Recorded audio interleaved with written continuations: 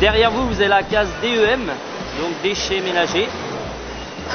Donc vous voyez, vous avez euh, tout ce qui est bouteilles de plastique transparent. On a les bouteilles de plastique foncé. Nous avons la carte nette, carton plat.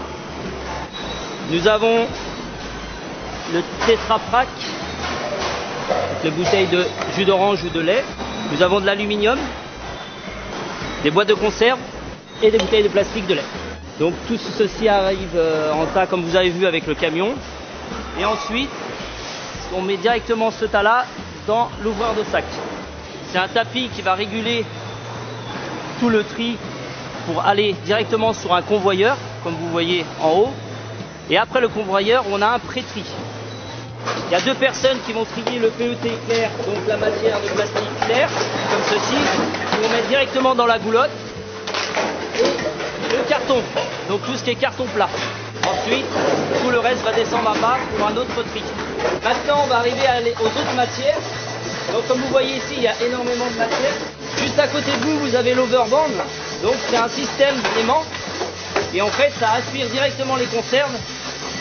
Ça va directement dans une petite presse où on fait des petites balles. Donc une fois que l'acier a été aimanté, donc Philippe, lui, va récupérer tout ce bouteilles de lait, donc PEHG et l'aluminium. Et il va récupérer aussi toutes ces bouteilles de PET foncé, donc euh, bouteilles de plastique foncé. Et il récupère aussi le reste de bouteilles claires qui n'ont pas été pris en haut.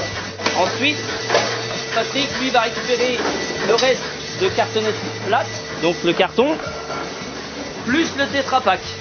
Et ensuite, il nous reste plus que le refus de tri. Donc le refus de tri part directement dans un compacteur qui est derrière et s'enfuit. Donc là, notre tri a été fait. On l'a pesé, on l'a vidé, on l'a chargé, on l'a trié et maintenant il n'est plus qu'à être emballé dans la, dans la presse.